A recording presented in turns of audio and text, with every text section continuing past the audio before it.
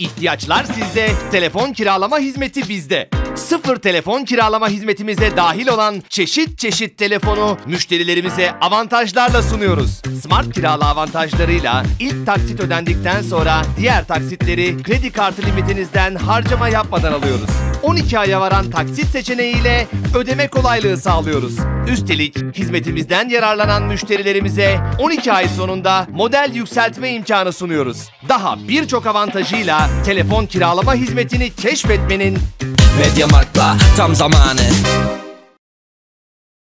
Oranların şampiyonu şampiyon oran her gün 500 TL ekstra kazanç fırsatıyla Misli'de. Peki sen neredesin? Misli'ye özel yüksek oranlarla 4 büyükler ve Avrupa devlerinin maçları seni bekliyor. Hemen Misli'ye gir her gün şampiyon gibi kazan. Aynen misli, misli.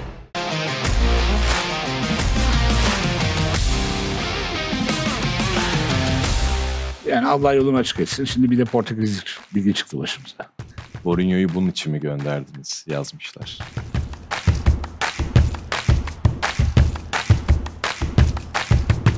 Schengen'in var mı yeni bölümünden herkese merhaba. Her hafta olduğu gibi sevgili Bülent abiyle beraber Avrupa futbolu gündemini değerlendireceğiz. Bülent abi hoş geldin. Hoş bulduk. Ee, güzel bir hafta. Yine bol bol konumuz var. Yiyip bitireceğiz abi. Yani lig, ligler döndü. Aynen. Sevmiyorum milli takım aralarını. Biraz nefeslenmek için olabilir diyeceğim ama daha sezon yeni başladı. Pek de öyle biz de yorulmamıştık yani bu işi yapanlar Tabii. açısından.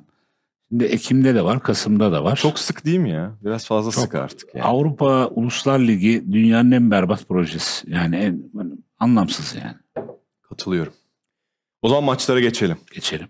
Liverpool Nottingham Forest'a kaybetti. 1-0. Ee, yani aslında Nottingham Forest gerçekten hiçbir şey oynamadı diyebilirim ama.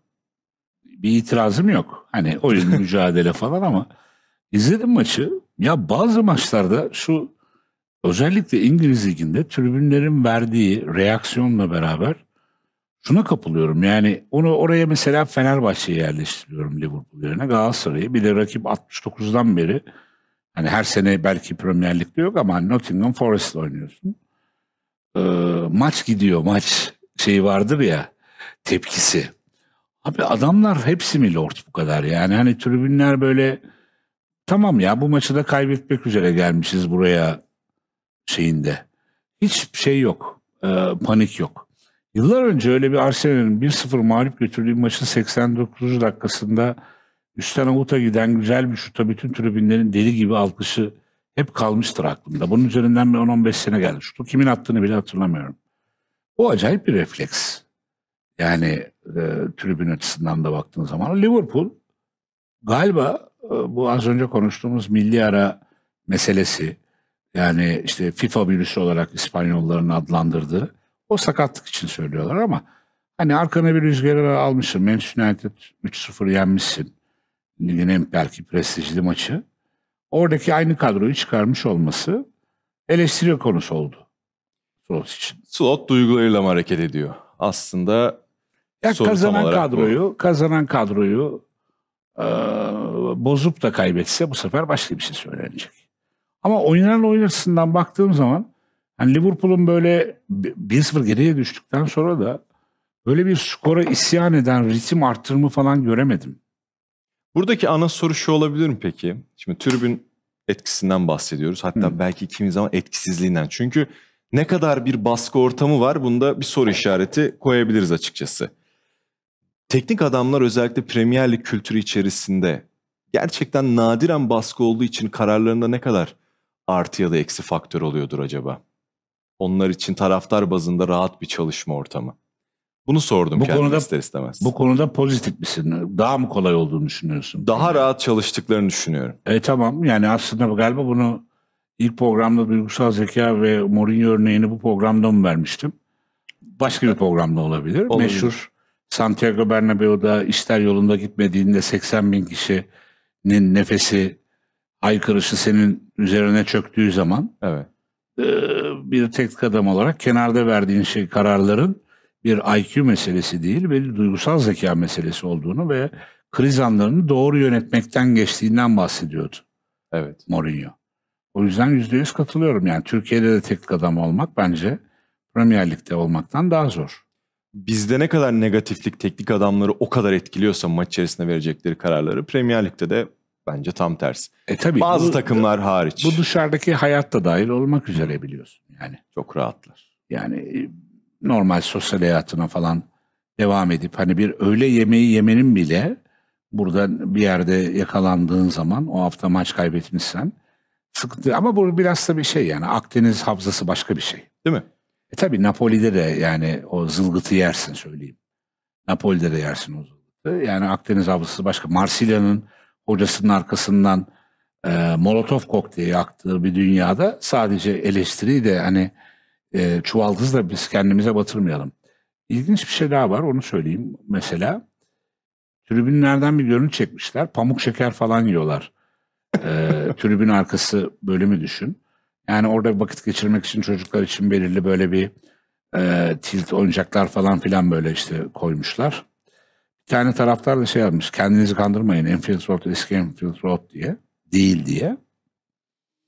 Ee, ben yıllar önce Galatasaray'ın bu Doğu Batı tribünlerinde tavuk çevirme satıyorlardı böyle tamam mı? Yani, Tavuk çevirme. Tavuk çevirme yani. Normal bir sandviç falan filan yersin karnın acıktıysa da. Yani tavuk çevirme ne yani? Sushi dükkanı falan vardı yukarıda.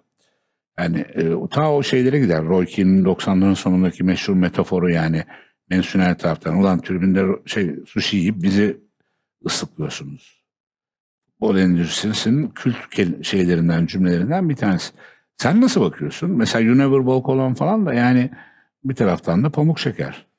Yurt dışının bu olaya bir futbol mücadelesi ya da rekabet unsurundan ziyade biraz daha para, biraz daha eğlence, insanlara sahadaki ürün dışında daha farklı ürün gamları sunmasının da bir Amerika. Tamamen endüstrisi. Amerika tarzı. Amerika spor. Bunu Bundesliga'da en çok beğeniyorum bu arada. Maç günü etkinlikler. Tabii. Şimdi bizde stada 45 dakika önce girersin ısınma izlersin. Örneğin Dortmund'da yani maç Direkt şahidim abi. 5-6 saat önce. 5-6 çocuğu- saat önce. Çocuğunu götür. biranı iç, eğlence, çocuğunu bir yere bırak, farklı etkinlikler, standlar gez.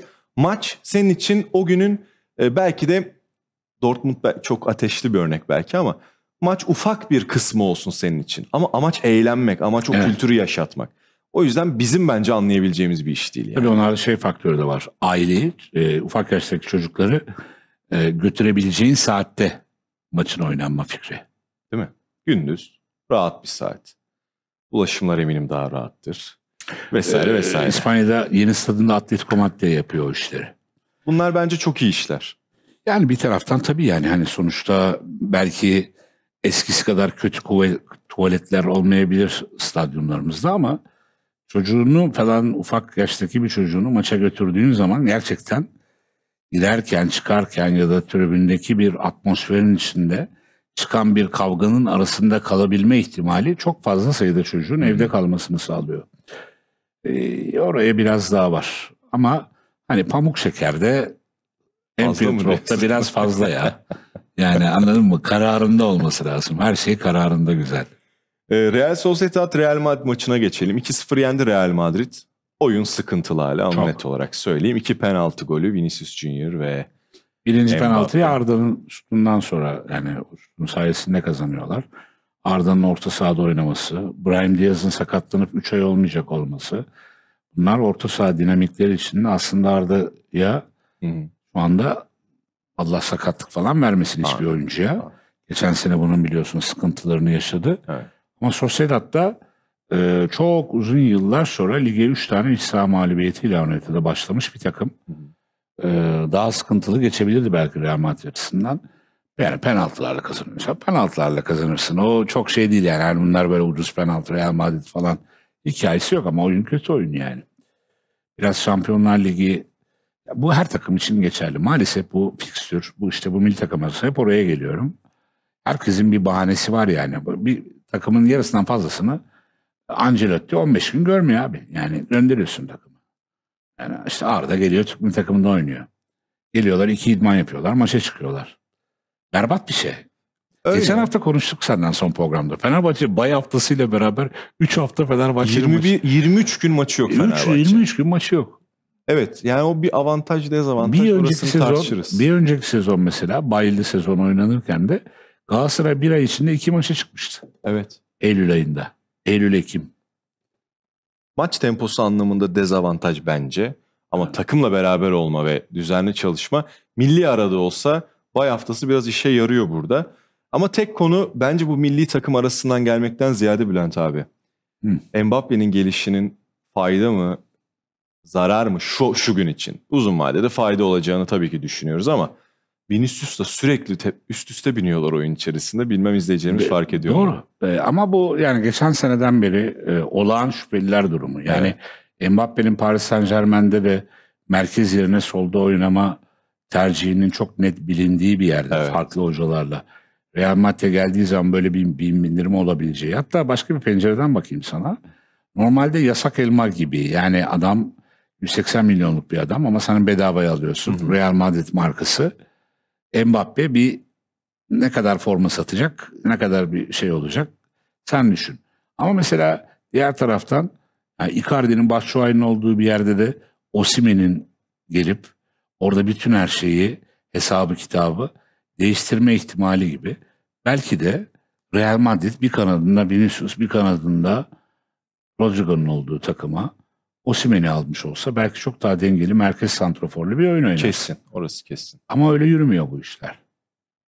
Yani öyle yürümüyor. Öyle yürüyor olsa eee, hani yıllar önce eee Ronaldinho'ya bu herifin forması satmaz çirkin deyip David Beckham'ı transfer eden adam hala Madrid başkanı. Evet. Anel Di Maria bence hayatımda gördüğüm en iyi futbolculardan bir tanesi Çok bu. yetenekli. Çok yetenekli değil mi? Üst Arkasından öyle söylemişliği var. İyiydi ama forması satmıyor. ticari bakış açısı. Yani Biraz ba- da. ba- bakıyorlar mı? Bakıyorlar. Şimdi biraz daldan dala atladık. Geri döneyim. Haklısın ama yani işte bu oradaki o şu anda Ronaldo'nun Messi'nin sahneden çekildiği bir ortamda sen bana Mbappe'nin arkasına Mbappe'ye rakip olacak 2-3 tane adam söylesene. Şu starlık mertebesinde. Haaland. Haaland. Başka da direkt aklıma gelmiyor. Yani işte artık e, bazı oyuncular kariyerinin sonunda ya da o tarafa doğru yürüyen hani Lewandowski'ler, Harry Kane'ler gerçekten sen o heyecanı verebilecek adam görüyor musun? Yok hayır görmüyor. Açık ve net. Yani bu işlerde Messi, Ronaldo hangisi bir hangisi iki sabaha kadar tartışılsın. Üçün Neymar olduğu yerde adam Messi'nin gölgesinden kaçıp Paris Saint Germain'e gitti. Orada tekrar Messi'ye yakalandı. Bilindiği üzere hayallerindeki Şampiyonlar Ligi'ni kazanamadılar. Bugün Neymar geçen gün haber okudum. Ee, ocağa kadar yok. 11 ay futboldan uzak. Bir zamanların 3 numarası o adamlar sahneden silinirken bir olması beklenen adam artık futbol dünyasında yok. Kendi mentaline yakalandı diyebiliriz. E, yani bak iki tane adamla sınırladın. Yani Pekala. Mbappe savunuculuğu yaptık. Savun ben yaptım. Ben yapmadım onu net söyleyeyim Yani. çok net. Ama son yorumu katayım diğer maça geçmeden. Ancelotti'nin yakın bir vadede Hı. Milan döneminde oynattığı o çam ağacı denilen ama biraz da tersten çift forvetli düzene mutlaka geçeceğini düşünüyorum. Rodrigo'yu kesip merkezi daha Ne, kalabalık. şeye mi? Vinicius Mbappe. 2005'lere mi gidiyorsun yani? Yani Hemen çift forvetli, Crespo Şevçenko'lu falan. Evet. kanatsız, Kanatsız. kanatsız. Tabii ki oyun içinde kenara açılacaktır ama en azından kağıt üzeri daha bol merkezli. Tam Valverde'yi kimse kanat oyuncusu olarak görmüyor. Aynen. Arda'yı da kanat oyuncusu olarak görmüyor. Bence kısa vadede bunu bu programda konuşacağız. Bugün bir, bir itirazım yok. Barcelona bunu yılların içinde denedi biliyorsun. gayet iyi. Yani standart klasik kanat oyuncusuyla oynamayıp 10 numara özellikle birçok oyuncuyu dizdiler oraya. Geçmiş Türk futbolunda da var. Yani En- Engin Baytar'la Emre Çolak. Emre Çolak'ın 4-4-2. 4-4-2'de oynadıkları kanatlardaki ama orijin olarak nedir? 10 numara. Ya uzun vadede buradan kesik yiyecek adam Rodrigo olur yani bence. Tebrik ederim. Tottenham Arsenal 1-0. Londra derbisi. Yani e, iyi çıktı bence Arsenal. Değil mi? Yani Tottenham'ın yap- yaptığı hücum sayısına bakarsan. Ama In Bruges filmi işte. Orada geçen replik Tottenham işte ya. Hani anladın mı yani? Şurada madde oynadıkları Şampiyonlar Ligi finalini çıkarsan Tottenham işte yani. Ya İngiliz futbol tarihinin en büyük golcülerinden bir tanesinin bile hiçbir şey kazanamadan yetti gari deyip hani Bayern Münih'in yolunu tuttu. Ama derbilerde şey var tabii. Bu bu iş biraz böyle bu kadar tek taraflı akmazdı. Mesela orada öbür tarafta City de o döngüyü fazla kırdı United'ın üzerine doğru.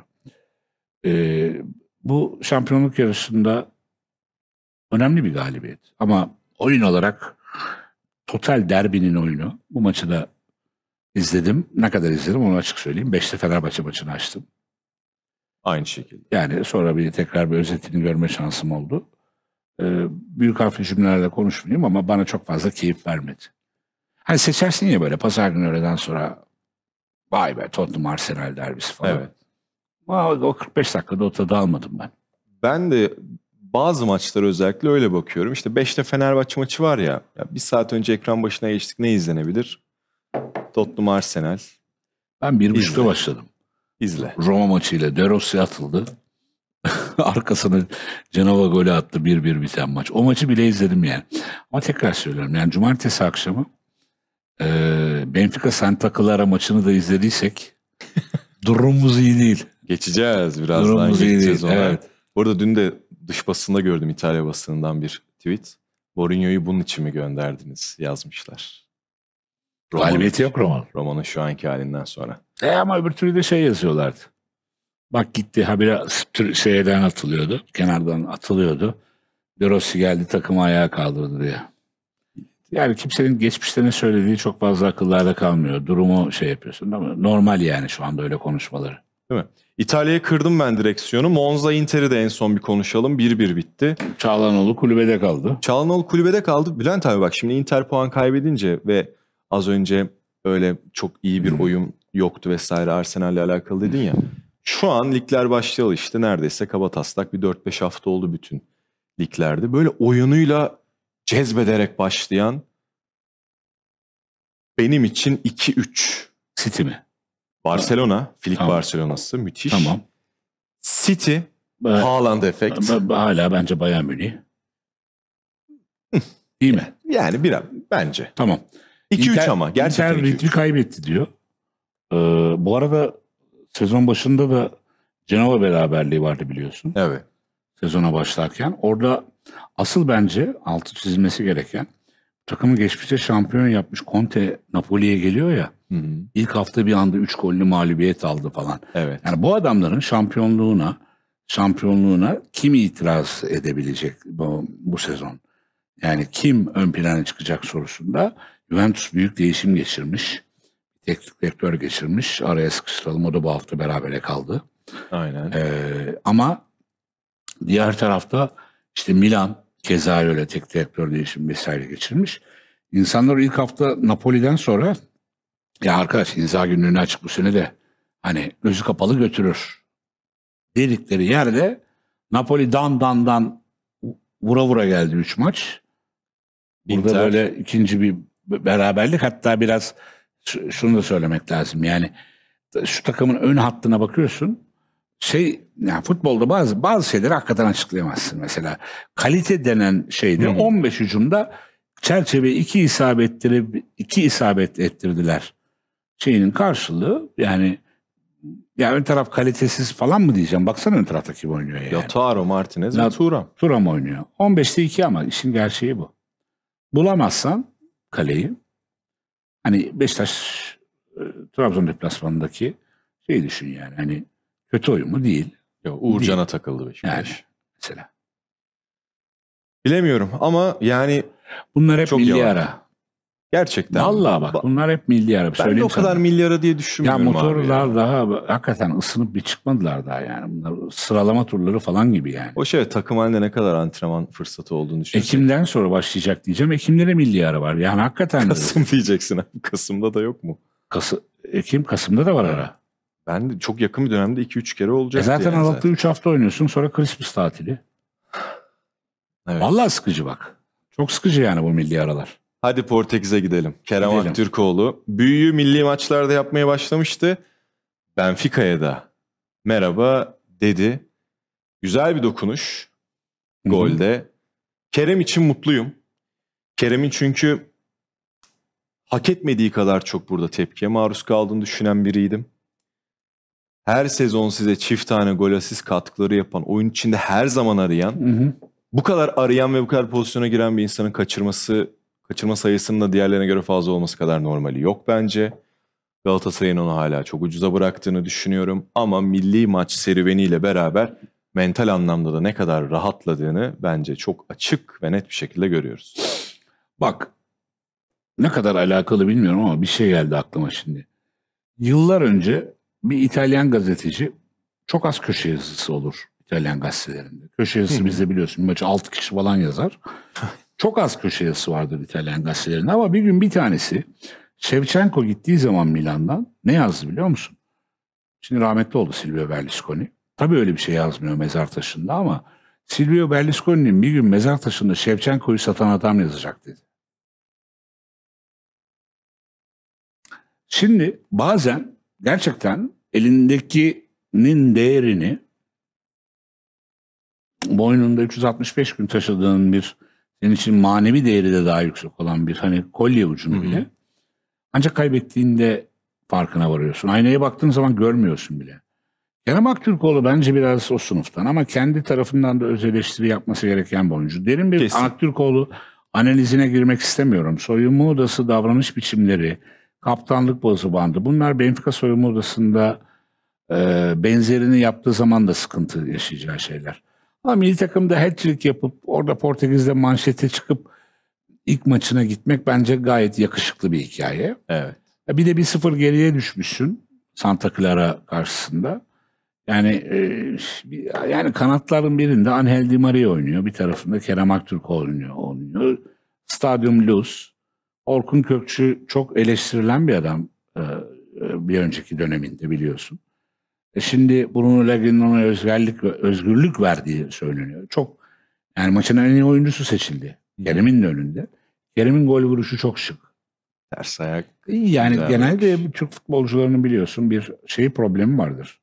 Hani bu adaptasyon meselesinde bu jenerasyonların artık aştığını düşünüyorum. Yani yok hani e, İstanbul'dan hani yemek şunu isteyeyim e- efendim şöyle falan. Bunlar yok. E, bence tamamıyla olay e, oyuna karşı aidiyet geliştirme. Mesela bu konuda ne kadar yetenekli olursan ol. Emre Mor, Celta Vigo'da sakat olduğu bir dönemde bir de böyle şöyle bir cikslik yaptırmış yani böyle bir cikslik diyeyim ne diyeyim artık ona. Düşün havuzun önünde bir tane kol. Taht diyebiliriz taht, ona. Taht, diyebiliriz değil mi? Yaşa. Elmaslı bir taht. Elma şey formayı giydirmiş şeye. 9 Emre Mor'du değil mi? Yani Emre Mor forması kumaş olmuş yani o şeye tahta. Parıl parıl parıl. Oradan denize at, yani suya at, havuza atladığı bir video var. Celta Vigo bir dünya para vermiş. Tarihin en pahalı ikinci transferi sakat olduğu dönemde. Sen öyle orayı tatil köyüne çevirirsen yani orası Vigo med değil yani med değil. Ve istediğin kadar yetenekli ol. Onu da alırken sen yani Emre Mor'u adam daha büyük bir kulübe satmak için alıyor. Kerem Aktürkoğlu'nun oyuna aidiyeti konusunda böyle bir şeylere rastlamayız. Hani gider bozar kendini falan filan. Yok öyle bir arkadaş değil. Bence de. Yani Allah yolunu açık etsin. Şimdi bir de Portekiz Ligi çıktı başımıza. o kadar çok şey izliyorduk. Ya hakikaten ya. Bir de şimdi Yani, Benfica evet. takip edeceğiz. Evet. Bu programda en heyecanla beklediğim konu bu. Neymiş? Sezon sonu serbestler. Hmm. Müthiş bir konu bu. Ama kalmıyorlar be. E, kalmıyorlar evet ama yine de Ben heyecan şey, duyduruyor. e, ihtiyaç falan noktasında böyle takım bazı bakma. Türkiye'de kimi görmek istersin diye şey yap istiyorsan. Abi Sana listeye bırakayım. baksana ya. Ya bunlar mesela sene sonunda serbestse yıl içinde imzalayabilecek olanlar çıkabilir. Tabii. Ama bugün özelinde mesela aslında e, burada tabii ki hiç ülkeye uğramayacak isimler de var. Üst sırayı tamamen geçiyorum mesela. Arnold, Sane, Salah, Jonathan Mesela David Salah'ın tekrar imzalamayacağını biliyoruz. O kesin mi acaba? Ben çok şaşkınım o konuda. Evet. Mesela bu Osimhen sonrası Burak Yılmaz'la da oynayan Jonathan, Jonathan David. David'in çok iyi bir imza olur ama Lillon'a uzatabilir mi? Bence uzatamayacaklar. Burada parayı kazanamadılar bence David'den. Değil mi? Jonathan David'i de Luis Campos getirmişti. Şöyle bir bakıyorum. Türkiye'ye kim gelebilir buradan? Kim alınabilir diye. Türkiye'den de şey var o listede. Vallahi. Hakim Ziyech var. Burada benim bu tabloda gördüğüm. Mesela ha yani Verratti bir sürü isim var yani. Abi şöyle diyelim. Burada kesin Türk Messi var takımlarına... abi Messi. Abi Ronaldo da var. Çerki. Ee, Türk takımlarıyla adı yazılabilme ihtimali en yüksek olanları söyleyebiliriz. Mesela Jorginho'nun yazılmama ihtimali yok. Zaten Yazıldı zaten. iki yıldır yazılıyor. Hep Thomas Partey keza öyle. Paşalic sürekli yazılıyor. Koke'ye ne diyorsun? Koke olabilir. Bence kalır ama orada. Hayatı orada geçti. Değil mi? O bu, bu sene bir yerde imzalatırlar ona da çok iyi para kazanıyor. Orada Harry Maguire. 8 milyon para kazanıyor Atletico Madrid'de. Harry Maguire var abi. Mesela Reguilon her zaman buraya yazılabilecek bir adam. Bu Doğru mu? şeyde yazıldı. Yazıldı. Bu transfer döneminde yazıldı. Musa Dembele de Musa Dembele Galatasaray kapısından dönmüş bir oyuncu meşhur hikayedir. Sen eminim abi benden daha iyi biliyorsun. estağfurullah. Ee, Thomas Partey, Lacazette C- Maguire ne diyorsun? yok. Niye Savic geldi Maguire gelmez mi kardeşim? Van Dijk de var listede. Oo Can- şey var. Ümmin Son. Wilminson var. Geçen gün biri bir şey Kevin De okudum. Ya çok çok eğlenceli liste ya. Geçen gün şunu Carvajal e, şey bak abi ekrana. Reji bize Evet. bilerek şey yapıyor galiba. Yalnız Carvajal. e, ne yok mesela? Aa Ceko da var. Bak Ceko'yu Ceko, görmedim. Ceko da var. Evet. Ceko da var. Yani Ceko zaten Futbolu artık bırakır hani, bence. bence bırakır futbolu da. E, kaleci yok. Kaleci gördün mü hiç? Var abi. Meret Var var. mı? Ha Meret mi var? Evet. İyi bak bir tane kaleci var mı? Meret var. Aşağıya baktım. Yukarıda da bir kaleci yok. Jonathan Tah. Tabii İlkay'ın da sözleşmesi 1 artı 1 mesela. Geçen gün gördüğüm tweet'i söylüyorum. Jose Mourinho Fenerbahçe'de kalıp acaba Hümmin Son'u ikna eder mi? Sezon sonu için. En şaşırdığım adamdır. Olmadı, bir türlü şey bir basamak daha yukarı Daha gitmeyerek. yukarı? Tabii. Gitmedi. Hı hı. Ya da istemediler bilmiyorum. Ama istenmeme ihtimali yok abi Kimin? Son'un. Son'un. Ha. E, Biraz o isteyecek takımların o mevkideki adam ihtiyacı sayısıyla da her zaman alakalı değil mi? Ama Son da yani çok özel oyuncu ya. İtirazım yok. Bazen bazen de oyuncuda biter be. Doğru. Ama yine de insan düşünmeden edemiyor. Lindelöf Fenerbahçeli adı çıktı bu yaz transfer döneminde. Bunlardan 8-10 tanesi futbolu bırakır. Yarısı sezon içinde kulübüyle anlaşır falan böyle. Koke falan gibi. Ve geri kalanlarda abi bir kaleci daha var. PSV'de bir şey var. Arjantin Benitez. Mesela Galatasaray'ın evet. sene çok ciddi bir kaleci problemi var mesela bence. Bu arada evet kaleci problemi ona döneceğim ama şurada da ufak bir liste aşağı doğru gidiyor. Orada da isimler var. Yusuf Yazıcı, Martial. Hala hali hazırda. Evet. Oradan şeye gireceksin galiba değil mi şimdi? Rabiot'un e, Marsilya'nla anlaşmak üzere. Onu kısa bir hemen değiniriz. Sergio Ramos, Pjanic, Pomotin, Klasen, Matip, Aurier, Joao Pedro en son dağdaydı Bak Joao bak Pedro. orada Oriye, Joao Pedro bunlar hepsi Türkiye'den bak bir de yani. Evet Ben Yedder, Dele Alli yolu buraya düşmüş bir isim ve Kurzawa Yani e, bir Yusuf Yazıcı için hani tam kelime manasında şunu söyleyeceğim.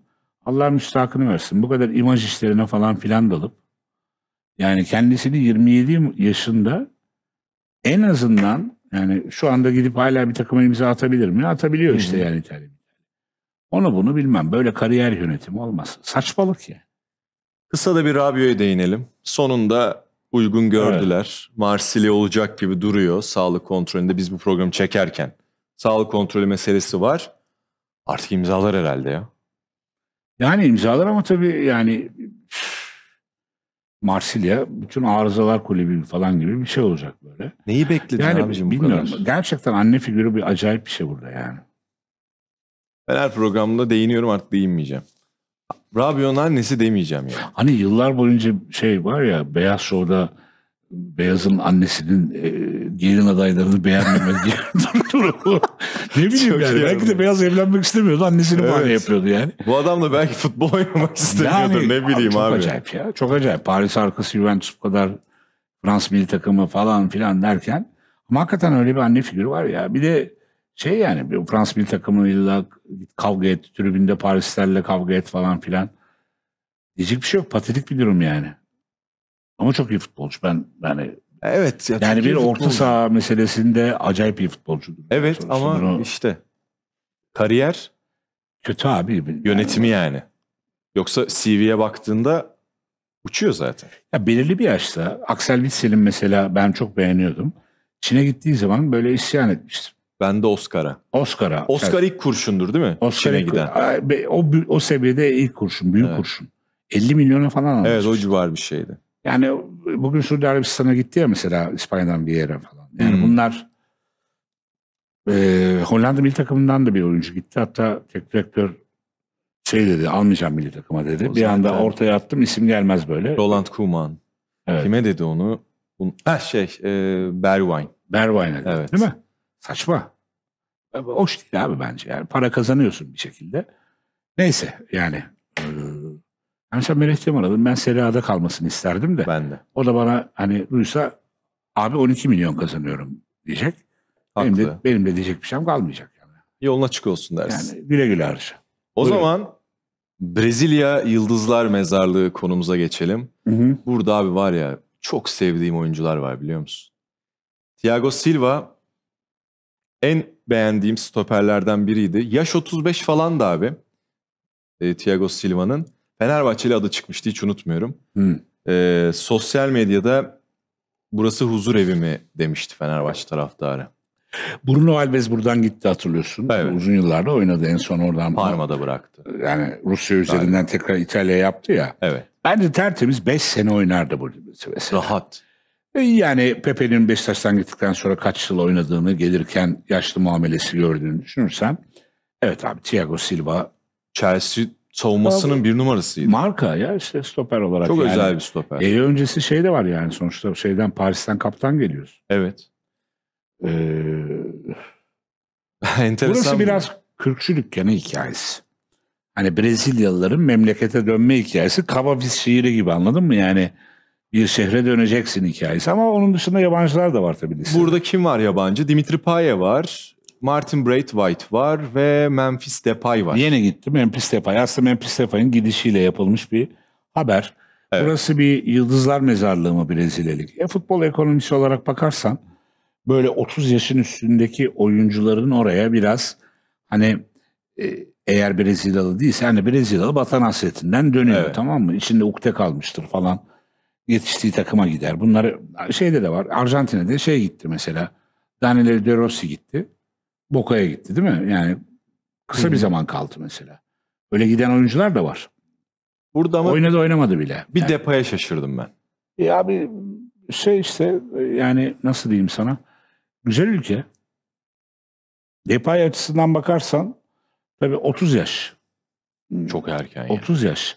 Ama arz talep dengesi içinde yazın çıkan haberler açısından düşünüyorum. Ülkesine dönmek dışında çok ciddi ciddi hani hmm, İspanya sonrasında ben teklif haberi hiç okumadım. Olacak. Orada da mental sıkıntılar var herhalde. Yani sen rastladın mı? Yok. Şimdi yakıştırıyorsun adamı beğeniyorsun. E, tabii diyorsun. çok yetenekli aslında. Ama herkes istemiyorsa bir şey de olabilir. Doğal olarak Süper Lig'e yazıldı. Yazıldı. Hiç şaşmaz.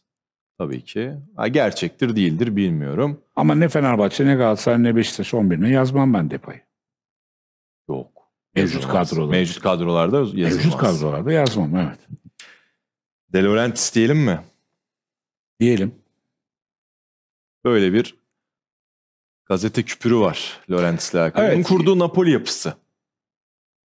Evet mi- milli ara dolayısıyla aslında çok sıcağı sıcağına getirmedik ama e, bir taraftan Fenerbahçe'den aldığı oyuncular. Tamam mı? Elif Elmas, Kim Mince. Kim Mince. Evet. Yani buraya ödediği bir işte e, 20 artı 20 desek hani bir, bir 40 Kabaca. milyon para var. Jadon da çok istedi bu arada onu da ben Türkiye söyleyeyim. üzerinden ciddi bir para kazandı. Evet. Yani toplamda 50 milyon falan gibi karda. Doğru. Bir taraftan da Osimhen meselesini iyi yönetemediği için şu anda ciddi bir zararda görünüyor. Yani 130'a falan satabileceği bir adam için sene sonunda bence maksimum kazanabileceği bir para serbest kalma bedelinde görüldüğü üzere 80 milyon. Galatasaray üzerinden ama tabii De Laurentiis İtalya'nın işte en renkli adamlarından bir tanesi. Film yapımcısı. Çekki. Gori de öyleydi biliyorsun. Bu Fatih Terim'le problemler yaşayan Fiorentina başkanı. O da bir Hı. film prodüktörüydü ama e, De Laurentiis ailesinin İtalyan sinemasındaki varlığı nasıl anlatayım? Bizim yayın yaptığımız stüdyonun yakınında Türkiye Ünlü Vakfı var değil mi? Evet. Öyle bir etki yani. Bir sinema şirketi falan olarak Allah rahmet eylesin. Oğlum da anmış olayım. Öyle bir etki. Ee, ve çok saygıdeğer bu konuda. Yani çalıştığı ara, yönetmenler arasında Ridley Scott, Luc Besson, yani Toro Scola bunlar daha öncesinde İtalya'da bir dönem sinemasının bir parçaları olduğu için bu yönüyle çok önemli. Ama e, şeydeki sayfayı tekrar e- ekrana getirirsek oradaki oyuncuları da senin değerlendirmeni isteyeceğim. Tabii ki. Ee, Ben de başkanlığı üzerinde konuşacaktım. Mükemmel bir başkan mıdır? Bence evet. Hmm. E, 2004'teki Cittadella maçındaki kadroyu yazmışlar. Bak tek tek saymadan sana söyleyeyim. Evet. E, tekrar hani o lige e, şey pardon ilk aldığı kadro. Oradan bir tane futbolcu bunu da hatırlıyorum diyemezsin. Yok ben Hani hatırlamıyorum. öyle hani tabii tabii öyle bir dipten aldı ki olacak. Ama Evet. sağ taraftan ki oyuncuları bir hatırlayalım istiyorsan. Yani e, bunların üzerine bir ben senin görüşünü merak ediyorum. Ben diyeyim ki Ezekiel Lavezzi, Cavani yani Canavar bir hücum evet. oyuncusu. Ve farkındaysan hani Hepsi. e, yani bu da tabii sadece hücum oyuncularını yazmışlar. Bu demek değil ki değil ki hani defans hattında falan filan da Acayip orada. kötü adamlar oynamadı yani zamanda Manolas uçarken 30 küsür milyon para verdi Roma'dan getirdi Napoli'ye. Kolibali. Kolibali çok ilginç ya. 100-150 milyon edeceklerin adam şu anda Arabistan'da, Arabistan'da, oynuyor. Ne evet. saçma ya. Cesus'un oyuncusu. Yalnız acayip bir adamdı Kolibali. Evet. Hızlı. Havadan iyi. Yani biz bir komple stoper. Ben Arabistan'a gidenlere negatif baktığım için Ben çabuk de. düşüyorsun sahneden. Burada- Gonzalo Higuain. Gonzalo Higuain. Abi Onu ama sattığı için mesela ben buradan itiraf edeyim. Real Madrid'den buraya 40 milyona gelmişti. Evet. Kaleon falan da biliyorsun Hı hı. hani var o zaman. Real Madrid'in Napoli'ye iyi bir kazık attığını düşünüyordum. Allah bak iyi bir kazık attığını düşünüyorum. Şeyden River Plate'den Gago ile birlikte almışlardı Gonzalo Higuain'i. Evet. Gago büyük ayak kırıklığı oldu biliyorsun. Asıl yıldız oydu o zaman. Evet. Süper Klasiko'da. Mertens zaten geçmediler onu değil mi? Şeyde, tarihin en fazla gol atan oyuncusu. Evet ama benim bu listede bir numaram Cavani. Ben büyük bir Cavani hayranıyım. Hmm. Bayılırım yani Cavani'ye. Napoli Cavani de hakikaten çok acayip bir performanstı yani. Bak Cavani hala Güney Amerika'da. Değil mi? Şeyde değil mi? Boca'da. Evet bu kadar. O kadar. Vallahi hiçbir itirazım yok. Yani e, bu arada Osimhen'in sahnede bulunduğu, yüksek sahnede bulunduğu, Napoli'ye şampiyonluk kazandırdığı falan dönemi de dahil olmak üzere daha 20'lerin ortasında olduğunu altını çizelim yani. Bu acayip. Bu aynı şekilde Kıvara için de söyleyebilirim. Yani son dönemin kaç tane bu kadar heyecan yaratan adamı var ki? Bence İtalya Ligi'nde böyle iki futbolcunun üzerine Maradona Maradona yanında bir iki tane adam sekiz tane kazmayla şampiyon yaptı Maradona. Allah hepsi kazmaydı onların. Ya o Juventus kadrosuna falan bakarsan platinli kadrolara falan normalde yani Maradona'nın yaptığı işin büyüklüğünü görürsün. Bir dakika Serie A'da. şuradan asisti alayım mı? Buyurun. Haftaya ya da bir sonraki programda şu iki kadroya bakalım mı? Tamam. Şampiyon Yani, Napoli, tamam. Napoli'nin ilk oradaki Maradona ile şampiyonluğu ve karşısında platin yani Juventus'lu Juventus kadro. Tamam o asisti almış olayım abi. Pardon lafını Bakalım. kestim. Ne açığa düşermişim mesela. Yıldızlar topluluğu olurmuş. Ekvara'da izlediğin zaman yani özellikle şimdi geçen sene niye düştü diyorlar. Bu listedeki bir arkadaş geçen gün röportajda söyledi. Kendisi Galatasaray forması giyiyor. Mertens biraz fazla kutladılar dedi. Biraz fazla. Ama faciayı biliyorsun değil mi? Çeviri burada şey diye yer aldı. Galatasaray olarak şampiyonluğu fazla kutlamış olabiliriz diye. Adam aslında Napoli'nin şampiyonluğunu soruyorlar adama. Ama Galatasaray'ın fazla kutladığı doğrudur. Değil mi? Dursun Bey bayağı eleştirildi. O şehirde kutlama, bu şehirde kutlama. Babacım baba dağından ben paraşütle atlamadım. Niyetim de yok. Atlayanlara selamlar. Adam baba dağından Fethiye'de paraşütle atlarken elinde niye şey var ya? Bu arada kısa bir soru. Buyurun. Kıvara'yı beğeniyor musun abi? Beğeniyorum. Sen yani ya ben bir, bir, birebir de rakibin belinden su alan futbolcuları beğenirim. Hmm. Ne, yani sen beğenmiyorsun öyle bir sorun ki. Bir, şöyle ama. Ee, overrated buluyorum. Ha. Ama overrated demek de bence bizde yanlış anlaşılan bir diğer konu. Çevirisini doğru yapmıyoruz herhalde. Overrated kötü futbolcu demek değil. Tamam, va- olağandan daha Olağan- fazla. İyi futbolcu ama çok abartıldığını düşünüyorum ben. Öyle mi? Evet ben öyle düşünüyorum. Bunu anlayabilmek için e, Kıvara'nın daha başka takımlarda şeyler yapıyor olması lazım. Seni haksız çıkartabilmek için diyeyim sana. Evet. Ya bir sezon adamı mısın? Biraz daha zaman lazım. Ama ben beğenirim. Buyurun. Son başlığımız Yalancı Eto. Nereden başlayacağız? Eto yalancı mı? Eto Abi. harbiden bitmiş. Eto harbiden bitmiş. Şimdi eski bir hikaye anlatalım. Sen bir genç kardeşim olarak tabii o dönemde hayatta değilsin. 90-94 arası Barcelona Evet. ligi süpürdüğü, Real Madrid'in de gidip iki kez Tenerife'de şampiyonluğu kaybettiği dönem. Hı. Şimdi Cruyff'un elinde Romario var. Hristo Stoikov var. Romario da bir El Clasico'dan önce bir şeye gitmek üzere Rio Karnavalı'na. Hani Neymar'ın kız kardeşinin doğum günü de Neymar'ın Mart başında ortalıktan kaybolma hikayeleri vardır ya. Tabii sakatlanıyor. Evet. Yani adam dürüst davranıyor, izin istiyor. El Clasico'da da Real Madrid'de 5 atıyorlar Hı hı. şey var, hat-trick'im var Romario'nun. Daha sonra Cruyff'ta hayattayken de bu anekdot karşılıklı olarak doğrulanıyor. Bir şehir efsanesi değil. Bir teknik direktör olarak babalık yapıyor yani. O sözünde duruyor ve Romario gidiyor şeye, karnavala. E bunu da duymayan kalmamıştır. Şimdi Eto çıkıyor. bir programa çıkmış. Ne anlatıyor? Diyor ki ben diyor sene vermiyor. Ama diyor ki teknik direktör Leonardo diyor. Barcelona'dan yani Inter'e gelmiş. Evet. Leonardo'nun çalıştığı döneme bakman lazım değil mi? Anlat hikaye şu. Paris'te diyor arkadaşlarım diyor partisi vardı diyor. Yani Milano'dalar. Ee, konuştum diyor Leonardo ile diyor. İlk yarı diyor 3 gol atarsam şey pardon 2 gol atarsam beni oyundan alacak. İşte uçağa binecek. e, Milano'dan Paris'e gidecek. Partiye gidecek. Ki ne ya diyor 38 dakikada ettirik yaptım. Çıktım oyundan partiye gittim diyor. Abi şimdi bu videonun arkasına olay Leonardo döneminde Eto'nun herhangi bir maçta hat-trick yapmamasıyla başlıyor. Sonra bence işte sosyal medyanın ilginçliği şurada. Sonra birisi çıkıp diyor ki olur mu kardeşim diyor Manchester City'yi 3-0 yenen Inter